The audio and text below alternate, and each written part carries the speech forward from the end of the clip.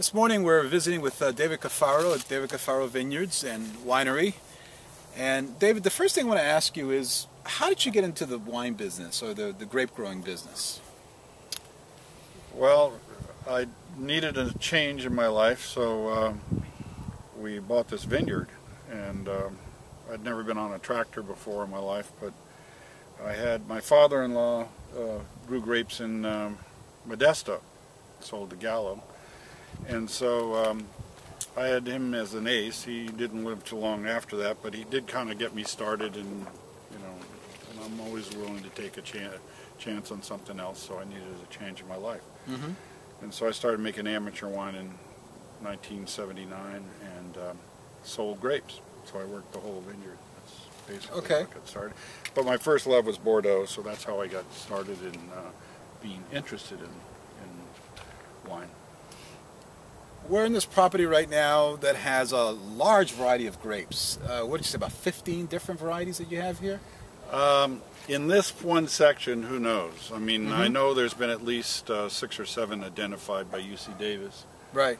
But there's probably more, like when you and I were just walking in, uh, we saw, hey, this one looks slightly different than that one. Is it the same variety? Mm -hmm. And actually, right where we're standing, if, yeah. if, you just look around, what's this over here? This is Zinfandel? Yeah, Zinfandel is very inconsistent. It's kind of uh, lighter in color, if, uh, as we're going to look around here. Mm -hmm. It seems to bleach out, as you can see very easily. And you can see how the bunches are form and very inconsistent. Right. Um, we're probably two to three weeks off um, harvesting in this area, we're probably a little over a month off mm -hmm. because there's so many different varieties. Um, so Zinfandel is um, eventually when it does get ripe, the smaller berries in here. This is actually a very big yield for for a change in these old vines. But there's you can see some smaller berries right mm -hmm. in there. Right. Um, they'll turn to raisins, especially here. Here's a bunch here.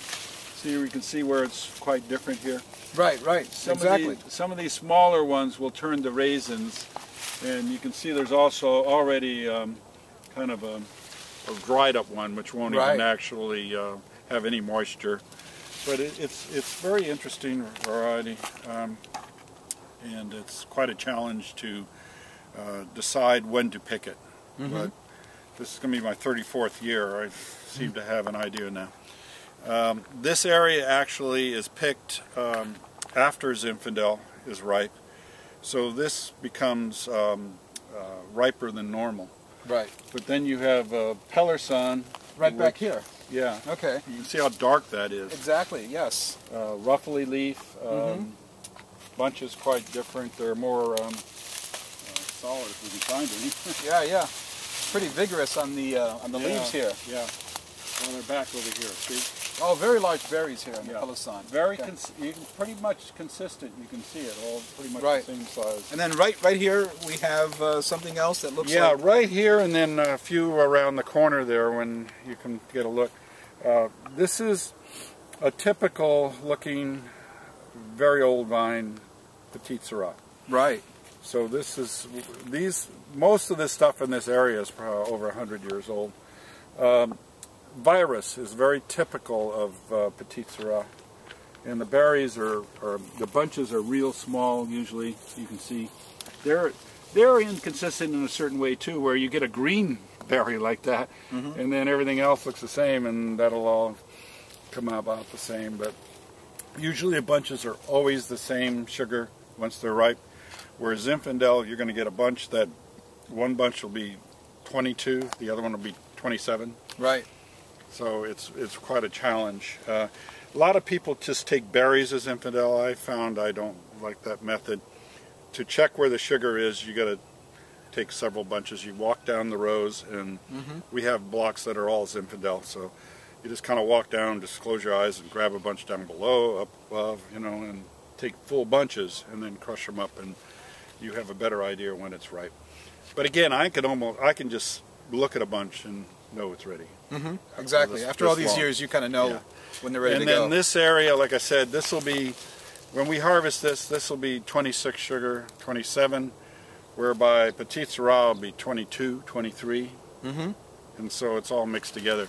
We also have Syrah in here somewhere. This actually this might be Syrah. Right, right behind us. Okay. Um, it's hard to tell. Like I said, there's several different types uh, in here that are so different. Like what's that one back there? That's Zinfandel there, okay. lighter color. Right. Um, and um, there's Valdiguié, that one way over there. It's kind of that almost yellow-looking leaves from a distance. Here. Okay. Valdiguié. Yeah. Okay. Uh, there's Syrah for sure. Right. Real, real bunchy one over there. I don't know if you can get over there. Right. So, so this is what's known truly as a field blend, Yeah. and there's no arguing that some of these are old vine. I mean, there's always the argument about what's old vine, but there's no argument that you know, uh, coming from the 1800s, these are old vines.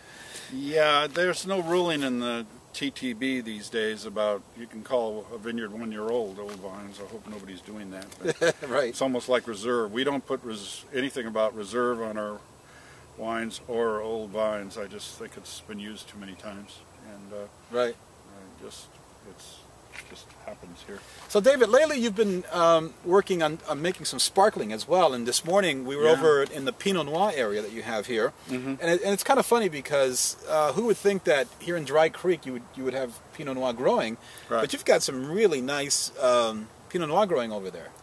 Yeah, uh, the reason we planted over in that area, it's near the pond, and we were having trouble with that soil over there. Um, we took the soil out of the pond and kind of filled that area, and it's it hasn't been producing. We had Syrah in there before, and it didn't do too well. Mhm. So I said, well, I'm going to plant Pinot. I know I'll get Pinot ripe in August. Right, So, right. So in in a normal year, we're still a little late this year compared to normal, whatever normal is. In 33 years, I haven't seen it yet. Um, but the Pinot is doing a lot better than I ever thought it would be. Mm-hmm. Originally, I planted. I said, "Well, I'm not sure what we're going to do." Then we decided to make some sparkling wine, and um, it's uh, it's turned out better than I ever thought it would be. It's probably the best sparkling wine I've ever had, but that's my opinion. You know, what am I going to say? It has Right. a little more character than most uh, champagnes or sparkling wines. Um, we do harvest a little higher. It'll be probably be 21, 22 today, Mm-hmm. and then we'll dilute it down a little. But it, the the flavor will be there, and it's uh, not a classic uh, sparkling wine then. Right. How large a property do we have here in terms of acreage that's planted? There's actually in total uh, acres of vines about 20. Okay. Uh, old vines like this area, we, like I said, we do have a 100% Zinfandel in another area. We have some Carignan. Um, those are um, those are about 11 acres. Okay. And then just over here we can see there's Clone 6 Cabernet. Mm-hmm.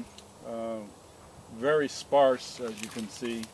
And the bunches, you can hardly see them. They're so small and really scraggly. Right. and uh, we'll have our first crop off of that this year. Not much. We might get a bin or something, half a ton or something, but Mm-hmm. uh, and uh, we have it planted in several other areas. We have it planted up there. We budded it over. That area will actually have a decent crop this year, and um, we planted in several other areas back over here. Okay. We also have uh, all. We have besides this, we have probably 15 other varieties over there. Well, I was going to ask you to, to give the people watching this a, a sense of what you have here. Can you reel off the varieties? Uh, Can you do that from the top of your head? It's it's hard for me. We just planted Sagrantino. Sagrantino, okay. Uh, there's another one I can't even pronounce. Not a very common grape, but uh, you know, you, you probably can name at least 10 to 15 of them, right? I mean, you've got Zinfandel, uh, Petite Sirah, Cabernet Sauvignon, Pinot Noir. We've looked at Peloursin, Syrah, Yeah, and but I'm I'm thinking of the other ones too. There's Carignan, of course, but right. but there's also the new stuff over here that we planted. Lagrein is the darkest stuff I've ever seen. It's darker than Petite Sirah. We have a lot of Petite Sirah over in the corner over Yeah. there. And you've got some Muscat also. Yeah, we just planted Muscat and uh, Gewurz. We're going to make a white blend with Sauvignon Blanc. We have Sauvignon Blanc down below that we're um, going to be harvesting here uh, probably in two to three days. We're going to make. Mhm. We're actually going to make one that's uh, a little lighter in character. I um, picked up some Pinot Blanc from uh, a winery in Oregon. I was really impressed with it. It's 12 and a half alcohol. But it's got this loads of acid that's just Mhm. wonderful. you know, Exactly. for- as a first, you know, taste of the evening. Uh, so we're going to make a white blend. We're going to make uh, 100% Sauvignon Blanc this year, but in a couple of years we'll make a white blend. And um, but Sagrantino, uh, the- well, we just planted that. Uh, there's, um, there's so many different things. We just planted Malbec. Right. Um, Aglianico is the hardest stuff I've had to grow so far. You know, earlier when I was talking to um, your, your vineyard person that was uh, harvesting the Pinot Noir, he called it lots of different flavors here. Yeah. So I'm thinking maybe it's time to go inside and taste some of those flavors. How about Sure. that? Yeah, yeah. We can do that. Yeah.